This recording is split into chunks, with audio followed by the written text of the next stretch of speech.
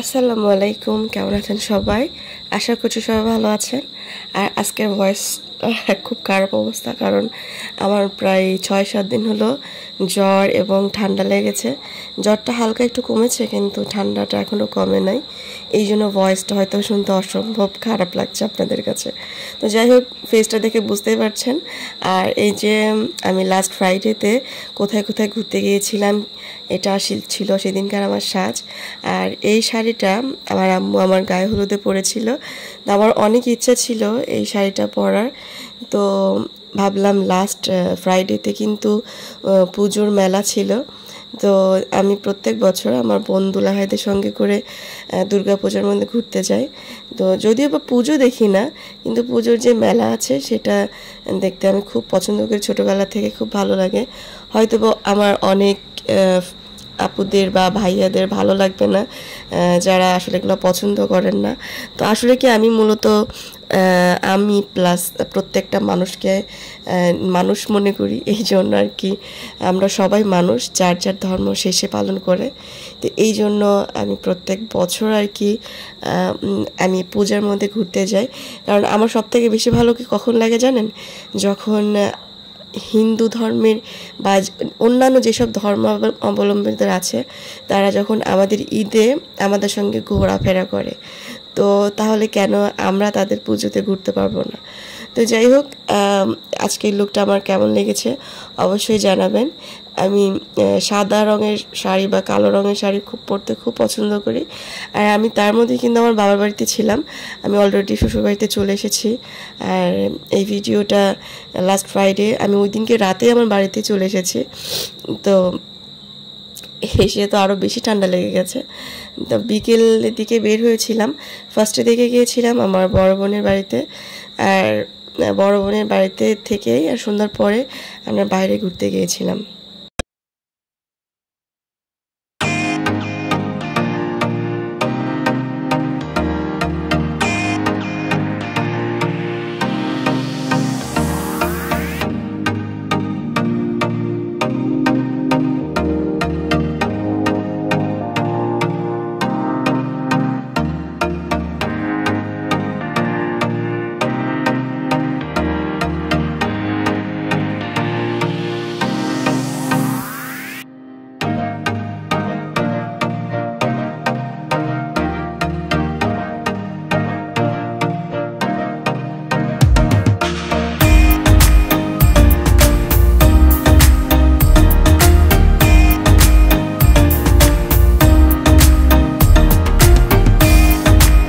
মানে বাইরে কিন্তু ওয়েদারটা ওই দিনকে খুব সুন্দর ছিল।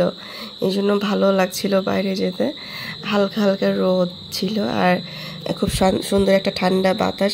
হালকা কিন্তু শীতের আমেজটাও চলে এসেছে। এই তো আমার বোনের বাড়িতে আমরা চলে আসলাম। তো আমরা প্রায় পাঁচটা পেজে গেছিল অবশ্য, পাঁচটার আগেও গিয়েছিলাম অবশ্য। তো এই জন্য বাইরের ওয়েদারটার জন্য ছবি প্লাস ভিডিও খুব সুন্দর এসেছিল। তা আমরা গিয়ে ছাদে চলে গেছিলাম।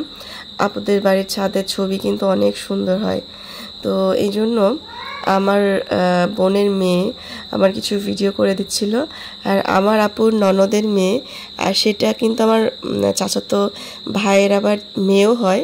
মানে আমার কাজিনের মেয়ে সে। পূর্ণিমা পূর্ণিমা আমার খুব সুন্দর সুন্দর ছবি তুলে দেয়। মানে আমরা ম্যাক্সিমাম টাইমে মানে যত সুন্দর সুন্দর ছবি আছে, সব আমাকে পূর্ণিমায় আমাকে তুলে দেয়, ছবি বা ভিডিও থ্যাংক ইউ পূর্ণিমা, আমাকে এত সুন্দর সুন্দর ছবি এবং ভিডিও তুলে দেওয়ার জন্য।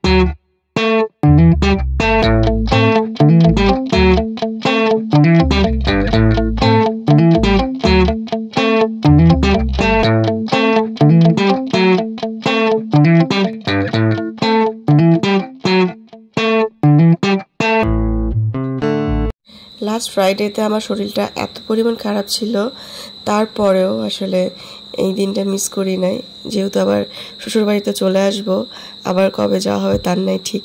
কিন্তু মানে ওই দিনটা সবাই যখন আমাদের প্রত্যেক বছরের ঘোরার একটা প্ল্যান থাকে, ওই দিনটা ঠিক তাই ছিল। এই জন্য কষ্ট হলেও বের হয়েছিলাম সে যুগুজে তা আপনাদের ভাই এত ছবি তুলতেও চায় না। তারপরও পূর্ণিমা বলছে আঙ্কেল আজকে খুব সুন্দর করে লাগছে আপনার দুজনকে ছবি তুলে দেয় তো আপনারাও অনেকে পছন্দ করেন আমাদের জুটিকে। তো থ্যাংক ইউ সো মাচ আর সবসময় দোয়া রাখবেন যেন আমরা সর্বদা অনেক ভালো থাকি, সুখে থাকি। আমার বড় বোন বলছে যে, তোকে তো দেখে মনে হচ্ছে না যে অসুস্থ।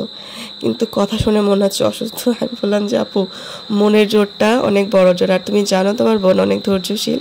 তো এই জন্য আর কি একটু কষ্ট হবে যদিও আজকে রাতে। কারণ এই যে ঠান্ডা বাতাস বাইরের, এটা লাগছে গায়ে এই জন্য। তো তারপরেও আর কি আনন্দটা আসলে একটা সময় চলে গেলে সেই সময়টা কিন্তু ফিরে আসে না। তো ভালোই সময়টা কাটিয়েছি ওই দিনকে। আলহামদুলিল্লাহ। আমাদের কিন্তু সেদিনকে অনেকগুলো ছবি তুলেছিল, দিয়েছিল পূর্ণিমা। সেদিনকে ছবিগুলো খুব সুন্দরও হয়েছিল। যাই হোক, সে আর ছবি তুলতে চাচ্ছিল না বলছে অনেক তুলে ফেলেছে। আর আজকে সাজটা কেমন হয়েছে? আর এই যে গলার যে সেটটা পরেছিলাম, এটা আমি একটা ফেসবুক পেজ ই ফ্যাশন গ্যালারি থেকে নিয়েছিলাম। তো আমার খুবই খুবই ভীষণ পছন্দের একটা সীতাহার। মানে এটা অরিজিনাল জয়পুরি সীতাহার। তো আমি ইন্ডিয়া থেকেও অনেক সেট নিয়ে আসি। তবে এইটা আমি আসলে আমার চোখে পড়ে নাই, এই জন্য নেওয়া হয়নি। তবে ই ফ্যাশন গ্যালারিতে অনেক সুন্দর সুন্দর সেট পাওয়া যায়। আমি ওদের কাছ থেকে অনেক প্রোডাক্টের আগে নিয়েছি। তো এই তো প্রায় সন্ধ্যা লেগে গেছিল, তারপরে আমরা রেডি হচ্ছি সবাই পাহাড়ে যাওয়ার জন্য। আমার বোনের মেয়ে, আমার পূর্ণিমা, সবাই মানে ওরা খুব আসলে এনজয় করছিল যে আমরা অনেক দিন পর সবাই আবার ঘুরতে যাব। এই তো আমরা বের হচ্ছিলাম। আর আপনাদের ভাইয়ার ছেলে বাচ্চাগুলো ছিল, ওর বাইকে যেহেতু আমার ঠান্ডা বাতাস লাগবে, এই জন্য আমি আপুদের গাড়িতে উঠেছিলাম। মেয়েরা সবাই, ভাইয়া ড্রাইভ করছিল আর মেয়েরা সবাই আমরা আপুদের গাড়িতে উঠেছিলাম। আমি জানি না আমার ভয়ের জন্য আপনারা আমার কথা বুঝতে পারছেন কি না তারপরে একটু কষ্ট হচ্ছে কথা বলতে, তারপরেও কথা বলছি। আসলে আপনাদের সঙ্গে ডিরেক্ট কথা বলতে পারি না, কিন্তু ইউটিউবের মাধ্যমে যে কথা বলি এটা আমার আসলে মনের একটা প্রশান্তি। তো যাই হোক, এই যে এটা একটা পূজা মণ্ডপ ছিল, তার বাইরে আমরা ওদিকে নামছিলাম না, শুধু বাইরে থেকে ঘুরে চলে আসছিলাম। এবার কেন জানি না, খুব একটা ভিড় নাই বা সেই রকম পুজোর যে আগের আমেজটা ছিল, সেটা আমি দেখি নাই। আর এটা আমি জানি যে আমার আমার ফলোয়ার্সদের আমার ইউটিউব ফ্যামিলির অনেকেই আছে হিন্দু পরিবারের। তো অবশ্যই তাদেরকে তাদের শুভ কামনা জানাচ্ছি। তারা সময়টা অবশ্যই ভালো কাটিয়েছেন। আর এটা ছিল আরেকটা পূজা মণ্ডপ। আসলে এখানে আমরা ফুচকা খেতে যাই। তো আমরা গিয়ে দেখি ফুচকার দোকানটা অফ ছিল। এই জন্য এখানে খেতে পারি না আমরা চলে আসছিলাম।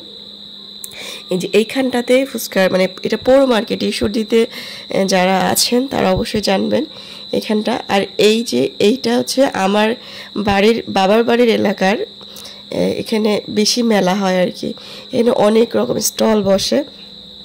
আর ওই দিনকে যেহেতু বাড়ি চলে আসব, এই জন্য বেশিক্ষণ আমরা থাকতে পারি নাই। একটু শুধু ভিডিও করে চলে এসেছিলাম। আর এবারকার প্রোডাক্টগুলো আমার খুব একটা ভালো লাগে নাই। গত বছরের ভিডিও নিশ্চয় অনেকে দেখেছেন। খুব সুন্দর সুন্দর প্রোডাক্ট ছিল এবং আমি অনেক কিছু নিয়েওছি। তো এখানকার আমি ভেবেছিলাম যে এই মাটির প্লেট আর কাপ নেব কিন্তু ফিনিশিংগুলো একটু ভালো ছিল না, এই জন্য নেওয়া হয়নি। তো যাই হোক, আপনাদের আজকের ভিডিওটা কেমন লেগেছে অবশ্যই জানাবেন। আর কোনো ভুল ত্রুটি হয়ে থাকলে অবশ্যই আমাকে ক্ষমা করবেন। আর আর কিছু বলার নেই। সবাই ভালো থাকবেন। আল্লাহ হাফেজ।